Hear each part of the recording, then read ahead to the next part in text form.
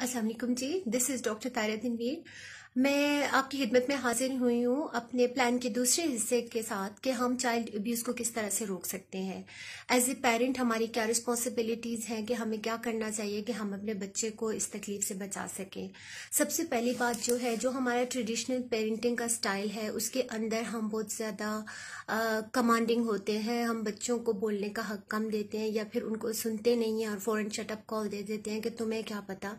तो इस तरह से बच्चा हमसे दूर हो जाता है। सबसे पहले तो ये है कि पेरेंट्स को अपने बच्चों के साथ एक दोस्ताना माहौल पैदा करना चाहिए, एक ट्रस्ट का रिलेशनशिप हो उनके बीच में कि बच्चा आसानी से उनसे हर बात शेयर कर सके और वो उससे खौफजदा ना हो कि वो आगे से पेरेंट्स उसके किस तरह बिहेव करेंगे, उसको पे शाउट करेंगे या उसे डांटेंगे। और दूसरी बात यह है कि हम बच्चे की मॉनिटरिंग करें कि बच्चा किस किस्म के कार्टून देख रहा है, किस तरह के उसके दोस्त हैं या उसके बिहेवियर के अंदर क्या चेंजेस आ रही हैं। वो ज़्यादा गुस्सा तो नहीं कर रहा, ज़्यादा क्वाइट तो नहीं हो गया आइसोलेटेड तो नहीं होता।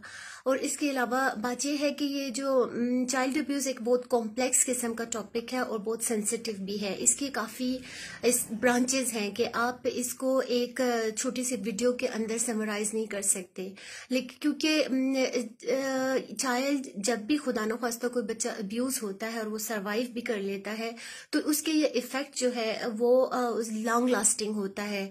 वो उसकी पूरी ज़िंदगी भर उसके दिमाग पे उसका असर रहता है। वो डिप्रेशन में जा सकता है। It can lead to the anxiety other psychological illness और बहुत चांसेस है कि वो बच्चा आगे चलकर खुद एक अब्यूजर बन जाए।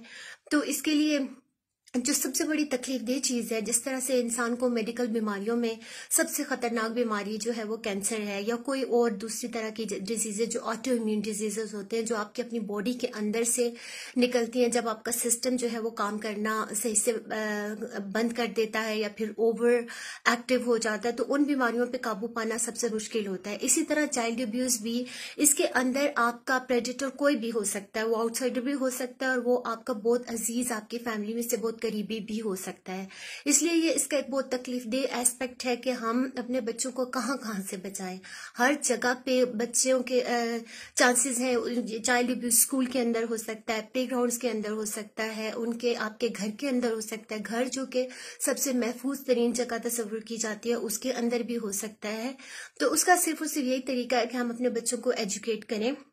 और एजुकेशन का मतलब ये है कि हम उनको उनके लेवल पे आके उनको समझाने की कोशिश करें। आप एक ग्लास के अंदर जग जितना पानी डालेंगे तो डेफिनेटली वो उसके अंदर नहीं जाएगा। तो बच्चों को उनके लेवल पे आके आप समझाने की कोशिश करें उनको अपने करीब करें और उनसे ताकि वो आ, आपकी बात को समझ सकें, आप पे ट्रस्ट का रिलेशनशिप डेवलप कर सकें और आप उनको समझाएँ कि उनके प्राइवेट पार्ट्स को वो किसी को टच ना करने दें, वो किसी की लैब के अंदर ना बैठे और अगर कोई उनसे कोई कोई ऐसी चीज़ उनको किसी से कोई चीज़ एक्सेप्ट ना करें जैसे ये तो एक कॉमन सी बात है, हम बचपन से सुनते आए हैं कि स्ट्रेंजर से बात ना करें, उनसे कोई चीज़ ना लें, लेकिन इसके अलावा आपके अपने क्लोज रिलेटिव्स के अंदर से भी आपका बच्चा अगर किसी के साथ ज़्यादा अटैच्ड है या चेंजेस आ रही हैं तो आप उसको भी देखें। और अंधा एतमाद जो होता है, वो हमेशा किसी, कोई और ही रंग लेके आता है।